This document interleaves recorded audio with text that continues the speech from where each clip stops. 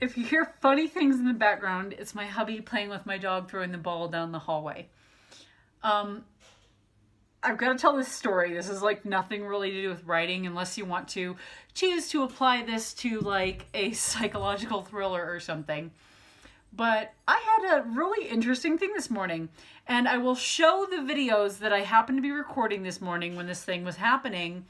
And I didn't realize the significance of these videos until later when I left to go to work. Um, I'm going to show those videos now, and then I'm going to provide a little bit of context.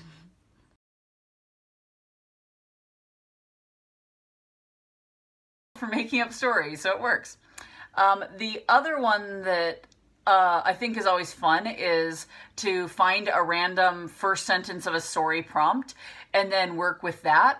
Uh, I had one a while back, and actually, this is another one where it was just a. For some reason, this first line came to me. My dog's barking. Sorry. Vader!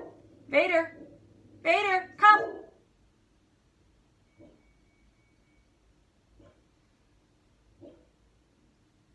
I might have to be right back. Somebody's unlocking my door. Wow. Okay, nobody was trying to unlock my door. Apparently my uh, electric kettle, I had turned it on and forgot. And apparently the beeps from that to let me know that it's done sound just like my unlocking mechanisms on my doors to my house.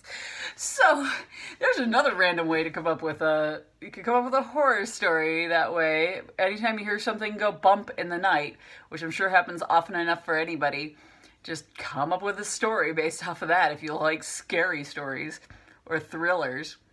Or I guess you could probably do like a, a, a, middle grade thing where they go to investigate the bump in the night and then it's not and then go into something else. But that'd be a fun hook maybe. Um, anyway, I'm getting so off track. So uh, I was talking before the dog interrupted and I thought somebody was trying to break in and murder me. Um,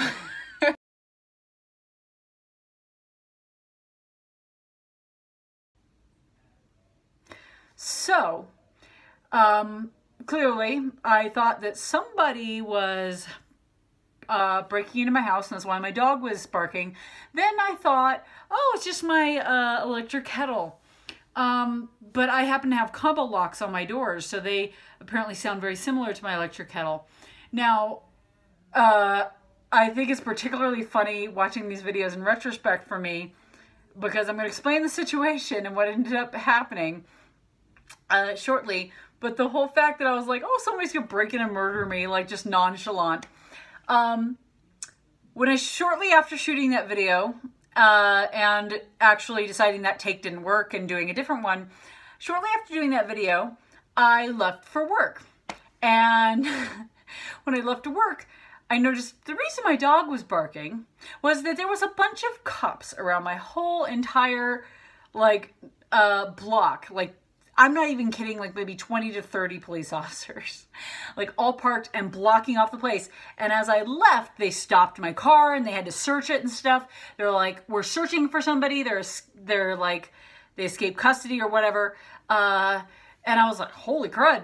And I was going to work like an hour and a half early. I figured I had some makeup time I had to do and I had like, uh, I figured I'd get like a half hour of overtime. I get halfway to work and I'm like, I had that awful feeling like, did I leave the oven on? But like for the, did I lock my back door? If there's that many police officers surrounding my block, this person has to be wanted for something pretty bad. I'm like, my hubby's asleep. He's not answering his phone because the phone never wakes him up for some reason. So I can't tell him what's going on or anything. I'm like, I was like, oh, I'm going to have to go back. So I went back because it was driving me nuts not to know for sure that I locked my back door, even though I was like, of course I locked my back door. I always lock it. But anyway, I drove back. and On the way in, they stopped me and like researched my car. They tried to tell me you can't go in there. I'm like, I live there, and they made me give them their address and stuff. And uh, and then um, they explained it's like we're searching for uh, a suspect in a homicide. I wish I was making this up. It sounds like I promise I'm good at making up stories. That's why I'm writing.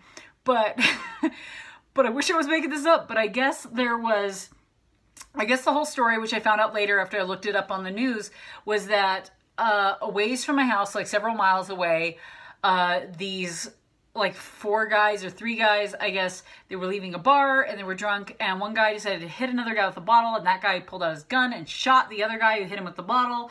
And then, like, three guys were fleeing the crime scene in a car, and they got in a crash, like, like a block away from my house. And two of them were apprehended, and only one of them wasn't.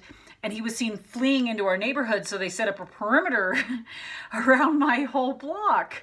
Uh, so that was kind of weird. So it was just really trippy to rewatch this video later in the day where stuff was happening and I wasn't aware of this at the time. And what's really weird is I'm pretty sure, I, I need to listen to it again, but I'm pretty sure that my my like electric kettle actually only beeps three times, three times. And and I'm pretty sure in that video when I was listening to it that it beeps four times, which means I'm like half concerned that somebody might have legitimately be like messing with my buttons like right when this was happening and that like this person might have tried to like break into my house. Anyway, the other thing I did when uh this so this kind of pertains to writing is when I had come back home because I was freaking out about my hubby being asleep still and not sure if I locked the door and all this stuff. Oh, and I also wasn't entirely sure. I was like 99.9% sure that I had locked up my gun. Um, not that it had any ammo in it anyway.